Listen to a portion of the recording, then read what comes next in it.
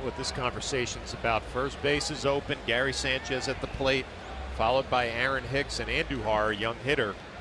Do you just walk him, set up the double play? Do you pitch carefully to him? A lot of closers don't like to intentionally walk people. Infield is still in.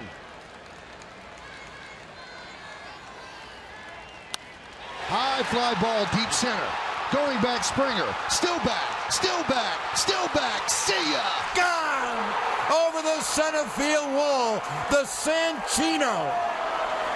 Gary Sanchez hits one as deep as you can hit it over the 409 and dead center. It's a three run blast.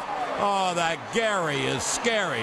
How can you possibly not walk in there? Pitching coach comes out to the mound. They have a long conversation, and the first pitch from Giles ends up a long way from home plate, a three-run home run.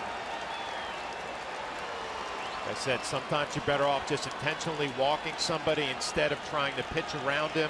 A lot of closers have that ego. I don't want to pitch around somebody. I don't want to walk him. He goes right at Sanchez, and he pays the price. Well, he got away with a hanging slider on Stanton. Not this time.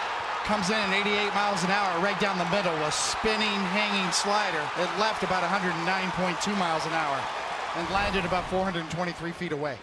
So Verlander nearly untouchable for eight innings, and Giles was not. Well, not only did the Yankees hit Ken Giles hard, check this out. Ken Giles hits Ken Giles hard. He just punched himself in the face. Wow.